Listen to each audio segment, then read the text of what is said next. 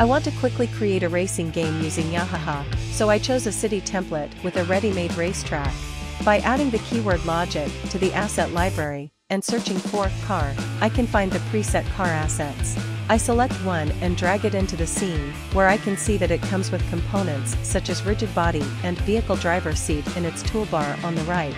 Features such as getting in and out of the car and parking are already included. These components can also be copied to other car assets. After adjusting the position of the car, I changed the overall game mode of the scene to racing. Next, back to the asset library and search for a finish line and place it at the end of the track. In the game mode options, I select the finish line as the destination, which sets the racing game's finish line. Then, I want to set up some passing vehicles on the road. After selecting the vehicle assets in the asset library, add the move feature to them. In the right side toolbar, adjust the relative position to set the position and direction of the vehicle's movement. Similarly, repeat this process for other passing vehicles. Then, I added some obstacles in the middle of the road to increase the game difficulty. Let's give it a try.